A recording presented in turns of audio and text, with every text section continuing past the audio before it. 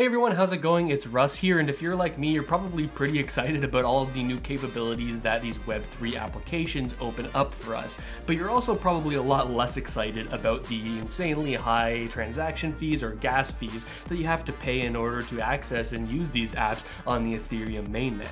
That's where these layer 2 comes in, these systems that allow for the same decentralization and security principles from Ethereum to be inherited, but allows users to submit transactions and to interact with the blockchain for far less gas fees. And tons of Web3 applications are popping up on these different layer 2s that you might want to use, whether you want to collect an NFT that lives on a layer 2, or participate in DeFi apps, or maybe you just want to be able to pay somebody without having to pay a $50 transaction fee attached to it. So in today's video, we're going to talk about three different ways that you can bridge over to these L2s so that you can get away from paying these transaction fees. The first way is through native ecosystem bridges, the second way is through multi-chain bridges, and the third way is through a direct layer 2 on-ramp, which is actually the cheapest way. Now, this might sound a little bit complex, but trust me, it's super easy and I'm gonna walk you through the whole process. The only thing you'll already need to have set up to follow along with this video is some sort of Web3 wallet uh, like MetaMask and potentially have already transferred funds into this wallet.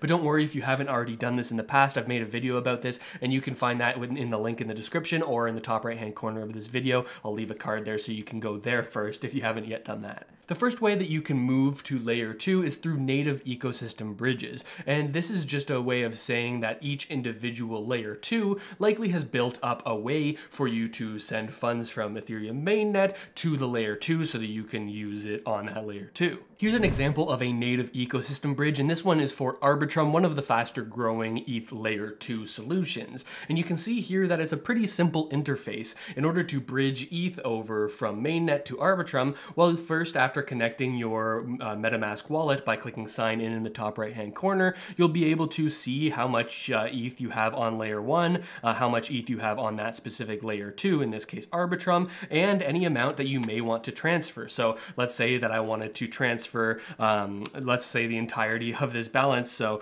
uh, 0.05 uh, ETH over to layer two, I would just type that in and then click deposit. Once I click deposit, likely a MetaMask transaction will come up in the top right hand corner. Yep, you can see it right there. And I can confirm this transaction in order to transfer these funds over to the Arbitrum network. Uh, although there is one problem here, sometimes it can be a little bit expensive in terms of layer one gas fees in order to transfer this over to layer two, which is kind of the problem in the first place. If I'm only transferring $156 worth of ETH, well, do I really want to pay that $35 fee that we can see there in my MetaMask? Likely not, and we're going to get into some other solutions that can allow for you not to have this sort of issue. Another thing that you can do on bridges like these often is to add the layer 2 network to your MetaMask. You can see a button to do that right here. Uh, what this will do is it will allow you to sort of choose between the different networks that you're currently using with your MetaMask. So you can see here I have Ethereum mainnet set up here in my uh, in my LED, in my uh, MetaMask, uh, but because I've already added other networks in the past, you can see I can choose from a selection of many different networks that I want to be using. It's going to be important for you to sort of swap over to these different networks inside of your MetaMask um, to make sure that you are connecting to and transacting on the right uh, ecosystem or the right layer 2 that you want to be using. And here we are on a different native ecosystem bridge. This time it's for the Optimism layer 2. So if you want to use an application that's on Optimism, you might want to use this bridge. And the same goes here for uh, the Polygon bridge. Uh, Polygon's not exactly a layer 2, it's more of a side chain, but there's a lot of things that you can do over on Polygon, and you can bridge in a very similar way using this ecosystem native bridge. I'll leave a couple links in the description so you can go to these individual bridges and check them out for yourself. But what if you want something that's a little bit more flexible than just a bridge that only goes from ETH to one specific uh, layer 2 solution. Uh, well, there's actually solutions for this, and they're called multi-chain or multi-L2 bridges. Now, these are special types of bridges that allow you not only to bridge from Ethereum to whatever individual layer 2 you want to bridge to, but it also lets you bridge between the different layer 2 solutions. Now, the beauty of this is that when you're bridging between layer 2 solutions, you don't have those big gas fees because uh, you're not actually uh, posting any transactions on the Ethereum mainnet, you're simply transferring from one layer 2 to the other one, so you never have to touch the high gas fee layer. You can just stay and live on the different L2s and transfer between them very easily with these multi-layer 2 bridges. Let's take a look at one of my favorites. This is a multi-layer 2 bridge called Hop. Now you might recognize this sort of user interface. It's very similar to the native ecosystem bridges we were just talking about, and you can connect in the same way with your MetaMask or whatever Web3 wallet you're using. But there's one main functionality here that makes this a lot better in my opinion, and it allows you to select from which uh, network you want to transfer and to which network you want to transfer. And instead of only being able to go one way or the other way between uh, two set points, Ethereum and Optimism or Ethereum and Arbitrum, this one allows you not only to transfer from mainnet to Optimism or to Arbitrum or Gnosis or Polygon, uh, and they're adding more over time here, but it allows you to transfer between those multiple layer twos. For example, I can transfer here from Arbitrum to Optimism, uh, or I can transfer from Polygon to uh, Arbitrum. It, it allows you to sort of live on these layer twos and transfer between them depending on which applications you want to use. Another similar multi-layer 2 bridge is called Xpollinate. Now this is another popular option. It allows you again to select which chain or which network you want to transfer to and from. Uh, for this one you can transfer directly from Ethereum. You can use this as a native bridge or you can like the last one transfer let's say from Arbitrum to Polygon. Let's say I had some ETH on Arbitrum already and I wanted to transfer that over to Polygon. I could not only choose which networks I want to transfer to and from but I can choose which token token I want to transfer across that uh, bridge as well. Uh, for this example, we'll use ETH and uh, transfer it to wrapped ETH on, on Polygon, uh, which is something you can use to sort of pay for uh, different things inside of the different Web3 applications. and you can, again, enter the amount here. I can enter the max amount here from Arbitrum 0.16, but let's say I was transferring over something a little bit smaller, 0.05. it would prompt me here to switch to Arbitrum so that my MetaMask is connected to Arbitrum before I initiate this transaction, but the whole transaction submission process is very similar to any other time you may have submitted a transaction on the Ethereum mainnet. But having that ability to transact across layer 2s doesn't help much if you're still having all of your funds on the Ethereum mainnet. And you can see this same problem here if I wanted to transfer from Ethereum to Polygon and I only wanted to transfer 0.05 ETH. Well, you can see here the fees because again, I'm touching the Ethereum mainnet, which has high transaction fees. Uh, the fees are rather high. I'm only transferring 0.05 ETH, but the fees are 0.03, so I only end up with 0.01 uh, ETH on the Polygon network. So obviously this isn't ideal if you don't already have funds on the layer twos, unless you're transacting with a large amount of money where these fees uh, become negligible. And that's where the third option comes in, which is often the cheapest, especially for new users who are just testing things out with smaller amounts of money. Uh, and this is a direct layer 2 on-ramp. Essentially, this is a way for you to go from your crypto exchange where you may have purchased your crypto and transfer it over directly to layer 2 instead of not instead of touching the Ethereum mainnet layer 1 at all in the process. So going directly from your crypto exchange to layer 2. Now, this is a functionality that not all exchanges have yet, uh, but it's one that I think that more and more will implement as they recognize that, hey, people don't really want to transact and pay the high gas fees on the Ethereum mainnet. They instead want to use the applications that are being built on layer 2, where you can spend far less on transaction fees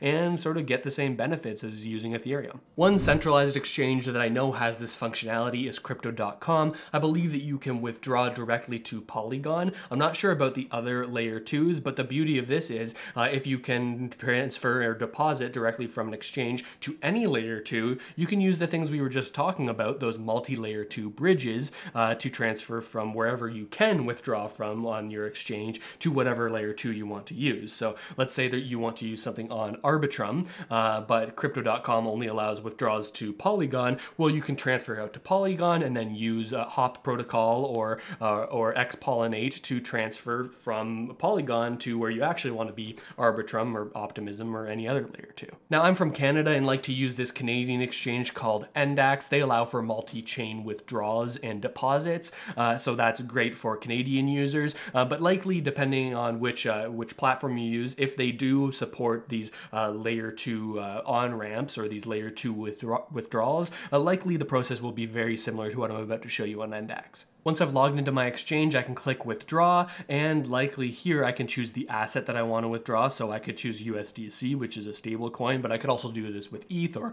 some other asset. And you can uh, choose to receive or send USDC. So if I want to deposit directly from NDAX, where I inputted my Canadian dollars to buy ETH or to buy USDC, I could click send here, and then I could choose which chain I would want to uh, withdraw or deposit to. Uh, it looks like the networks are sort of paused here here for on NDAX currently, uh, but maybe for Ether this is a little bit different. Yeah, you can see that you can uh, deposit this to Ethereum or to Binance Smart Chain. Um, the same goes for different tokens here. Like if we wanted to use Polygon's native token, I could send this to Ethereum or Polygon or the Binance Smart Chain. But as long as I can get to one of these layer twos that can use the uh, the multi-layer two bridges, I'm all set. So if I wanted to purchase some Matic, which is like the gas token for the Polygon ecosystem, I could go here and then then uh, deposit directly to the wallet address um, that I'm currently using on Polygon. So by using these direct layer 2 on-ramps provided by exchanges uh, that allow you to withdraw from the exchange directly to the layer 2 without touching Ethereum mainnet,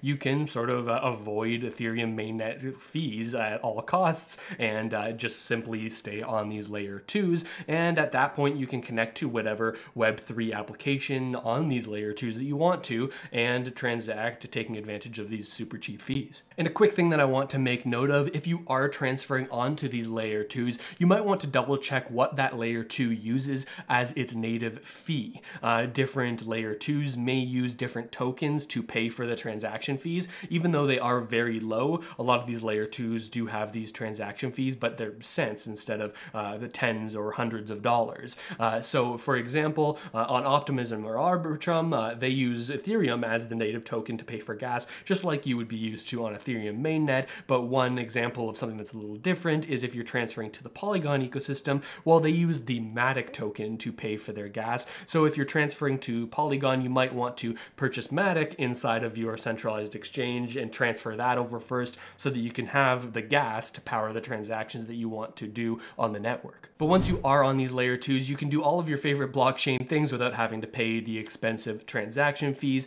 Uh, maybe you want to collect a music NFT on a platform like Mint Songs, or maybe you want to play around with DeFi and lend and borrow your assets assets on a platform like Aave you might be familiar with on the Ethereum mainnet, well, there's actually Aave as well as many other applications on these layer twos that allow you to use the same functionality without paying the high transaction fees. Uh, this is the future of Ethereum and blockchain scaling. It's not to all be transacting on Ethereum, it's to be sort of bridging across and using these layer twos where we can benefit from the same levels of decentralization and security that Ethereum has without having to pay for it on, on an individual user basis So I really believe that this is the way that these uh, blockchains are going to go, especially these smart contract platforms uh, like Ethereum, uh, is to use these layer twos as the solution rather than continuing to pay these fees on layer one. And I will admit it is a little bit complex and hard to follow at times with how to use this. The user interface isn't the greatest for all of this bridging and for using MetaMask, uh, but it just reminds me that we are so early in this ecosystem and learning this stuff and putting up with the sort of friction in the user interface is sort of an evil that we're going to have to put up with for the time being uh, because we are the people heading west, uh, the pioneers sort of discovering this, this place and discovering what we need to make it better for future users. So I think that it's just a product of being here in the space as early as we all are. But with that said, that covers the three ways that you can start moving over to layer two. Let me know if you have any questions down in the comment section. Subscribe to the channel if you haven't already done so. There's more content coming like this all the time. And with all that said, thanks so much for watching. I hope this video helped you out and I'll see you next time.